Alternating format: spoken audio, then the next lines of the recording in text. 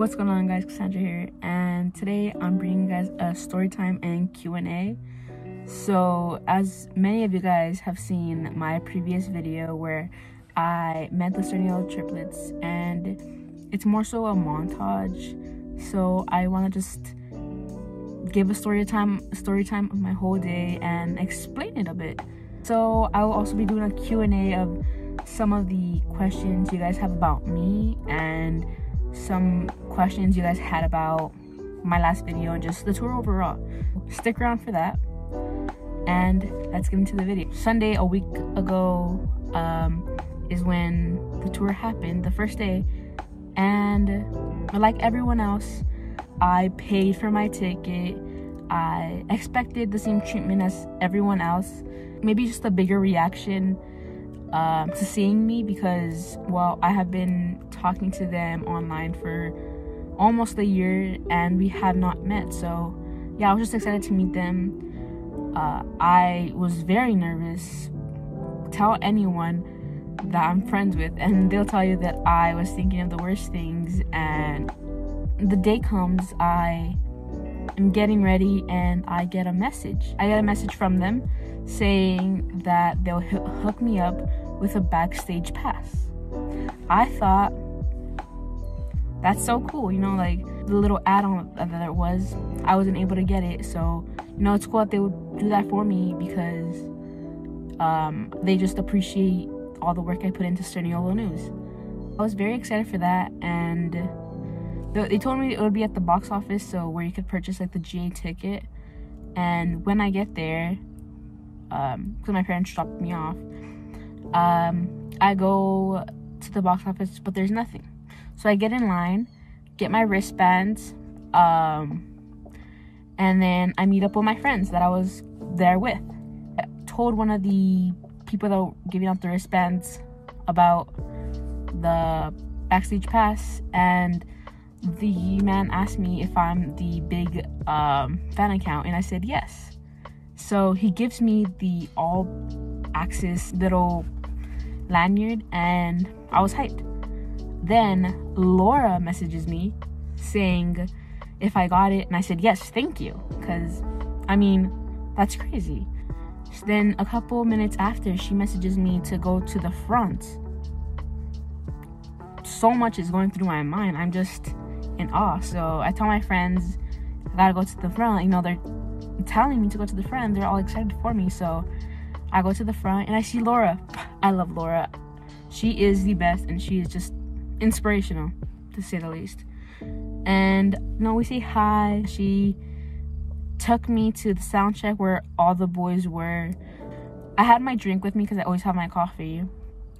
I had to throw that away because I was thinking, if I'm gonna meet them right now, I don't want to hug them with my cup. That'd be a bit awkward in my mind. So I throw that away, and as I'm turning to like well the trash can where the trash can is it was by the booth where i was sitting It's later in the story um so i throw that away turn around. I see nick like running to me and he gives me like the biggest hug. And after him comes matt and then chris. And yeah we say our highs. We give hugs. They wanted to just show me around. So they first asked me if I wanted to be in the vlog, and I of course said yes, like, hello. And they put me in the vlog. This is the part. Roll it. So let's show Guys. Kasandra what's going down. She gets the first access. Should we explain who Kasandra is for those who don't yep. know? Boom. So, wait, what would you say, self-explain yourself as? Um, Num maybe number one fan page for us. I think so. Highest followed. Yes. Most. So Kasandra runs Sturniolo News account. A lot of you know what that is. But a lot of you might not know who it is. So this is her in the flesh. Kasandra knows more True. But so we're gonna show Kasandra the small talk area for what's gonna happen today. This is so scary. bro, bro, just like, bro's just sitting there. Welcome to day in the life on a tour bus, but this is the first day, so I'm waking up in my bed, showering like I do in my house, not doing my skincare because I packed it all, and then getting all my suitcases ready and bringing them to our front door because our tour bus is outside waiting for us. Here's our magical tour bus. And then I saw I'm gonna be spending the next 28 days in my cubby where I sleep, and then we head to the next show, or the first show actually, in LA. And then we did a sound check right when we got there for Lost and Trill.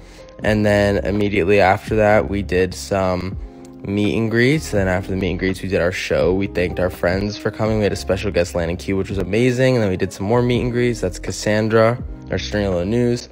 And then we went to Walmart right after the show to get the essentials like snacks, towels, toothbrushes, and such. Um, enjoyed some of the snacks from Walmart once we hit the road. Then we decided we were also hungry and went to a McDonald's, but McDonald's will not serve us because the tour bus wouldn't fit in the drive-through and the doors was locked. So we went to Burger King, and I decided I'm sending Chris in and not going. And then they brought me my Burger King. Me and Maddie enjoyed that. Then I got in my cubby, which I thought was for the night, and then wrote in my journal. But fun fact, you cannot shit on tour buses. So once we all had to use the bathroom, we stopped at a gas station, used the bathroom, and then went back to bed. And we are ready for you today, Arizona. Okay, so that's the part. After that, they're doing sound sound check. So um, I'm watching like Malcolm and Trill do their thing, which they are incredible at, and then Nick and Maddie show me around like the upstairs where the backstage um, thing happens and where they get a chill and all that. Okay, after that, me and Maddie sat at the booths while they were doing the meet and greets. We just talked. We just looked at them because we were both just like very excited and happy for them because is a big thing, you know? They've grown so much in the past year they were really cool. They treated me as, as I was just one of their friends, you know. So I didn't tell them like any big things I want to tell them. So yeah, like the most I think I've said was like how um, cool their brands were, like Maddie and Chris. So I just told them that I loved um, Second Choice and Fresh Love, which I do. Most of our other conversations were like silly ones like um, I they were talking about chicken pot pie and I said I never tr- have tried it. So they were all like in all looking at me because I've never had it and I didn't really know what it was. So they gave me a place to try like a place to go to to try it. So I'm scared, but I'll try it. Mostly all I was doing was going up and down from backstage to behind um, the pictures. Oliver came. He was he's so funny and so cool. I love him. He's like energy. Uh, I showed them my camera, which is this one. Um, they liked my stickers and he took a picture of my camera because he's a photographer so he likes to admire other people's equipment as he said i really want to document this because i will forget I, like right now i'm just like trying to remember everything because everything happened so fast and I was just trying to live in the moment. So that's why I also didn't vlog as much. Also because I was very, very nervous. Like another reason why I didn't tell them like how much I appreciate them and all that and thank them was because I was very nervous. Um so this is the schedule that there was for the day. So they were very, very busy. But after the meeting greets, they had some time to um, rest and then came the show, which I was at the balcony insane because um, Landon Cube was there, uh, Johnny was there, Laura, her assist- assistant, Brenda, Maddie, Oliver, and then the the triplets would come up um, to see Malcolm and, and um, Trill. So yeah, just like that point of view is insane. I'm pretty sure you guys saw some of the videos I took. Insane. The triplet. Sh- oh no, I take that back. But for the triplet show, I was um at the booths. So that's where I took the video. But then for um, Malcolm and Trill's show, I was at the booth. So crazy that Landon was there because someone that they have like looked up to for so long and I was one of the first people to know that he was coming, which is insane. It was so cool just looking at them do their thing. After the show and all that, uh, we just stayed backstage more, took some pictures. They got us on my um, all access pass. Mostly we just chilled. Jack, who is on top of all of the clothing for them, um, hooked it up with the merch. So shout out to Jack. He also gave me the ring, which I love. Uh, it's one of my prized possessions. I gotta take a picture with him.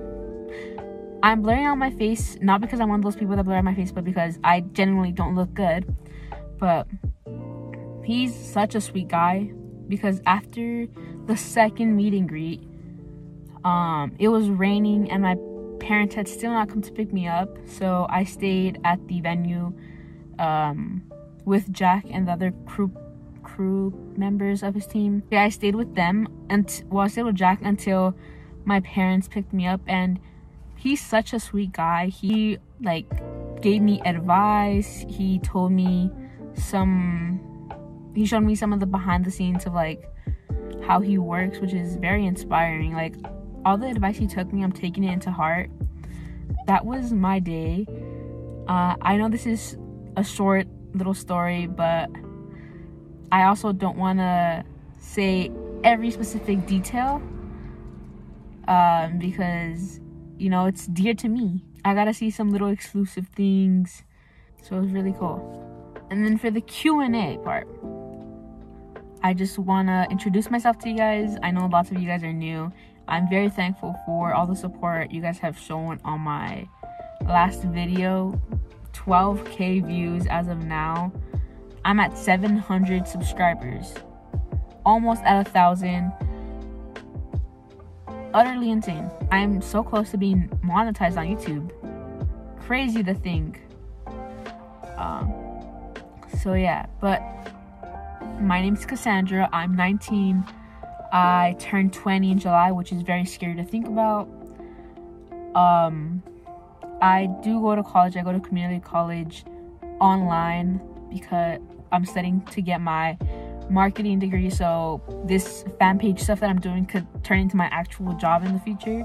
I don't do much. Like my hobbies consist of shopping, going on coffee walks, um, reading poetry specifically, and just bettering myself.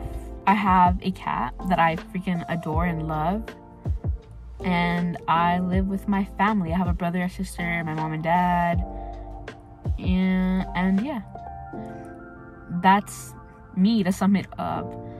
Um, I have been a fan of the triplets for over a year now, I believe. Well, I started consistently watching them in February, but I found them in like late 2021, I believe. So, yeah. Um I started Sturniolo News in April and yeah. That's mostly me. Now for the questions. Okay, for GA, um, for the tickets that are 129 you have to pay $20 separately from the venue i know it sucks but um, it's not unfair because some other shows are 149 so they're just i don't know why the venues want to separately charge $20 but yeah um i would say pay it at the venue for $20 because Mine was $35 for GA online, something convenience fee, which is ridiculous. The show, the triplets do um, meet and greet, and which is like they do two meet and greets, a later one and an early one, and they also have small talk. Small talk is what it is. Like when you're getting to know someone, you do small talk, which is kind of like a little conversation, and that's what you have with them.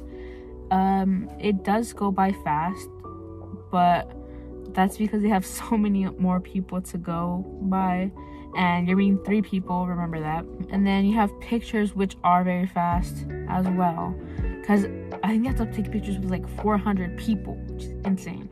Those pictures are like highs, buys, get your hugs in, all that.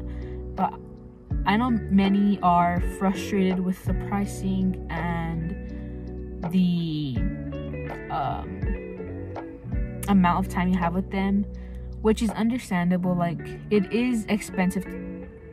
Like, if you just think if you don't really put much thought into it, it is expensive. But if you think about the amount of people that they need to pay on the tour and just all their equipment and all that, like come on. It's actually cheap compared to lots of um lots of other content creators. Uh gener okay, like for the meet and greet, the show 150 bucks. Okay, I just say that. If you're not getting small talk. You're meeting three people already. Okay, not one. Usually just like one person for the show. It's three. You're getting the Q&A, which is very fun. Uh, you're getting two shows. And I heard people complain about the amount of time they were on stage. I think they were on stage for a good amount of time. Um, because they before that they were just spending a couple hours doing pictures so it's understandable for them to just not be on stage for a full hour. Uh, i'm not kissing ass i'm just saying facts. Just look at other content creators. Okay um i would suggest getting to the venue an hour earlier.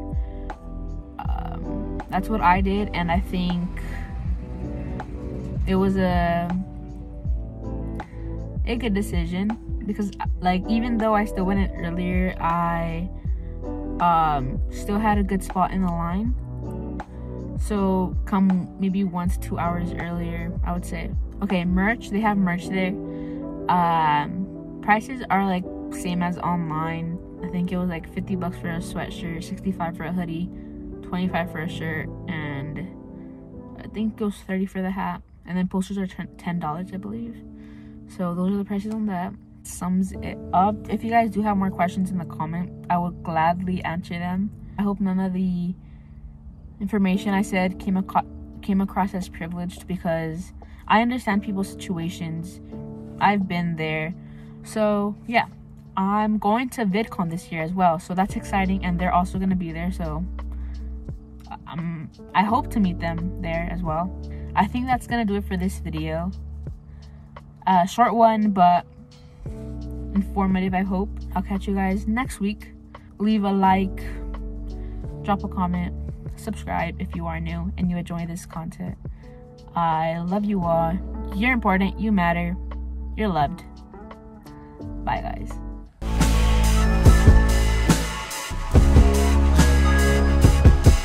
Lost.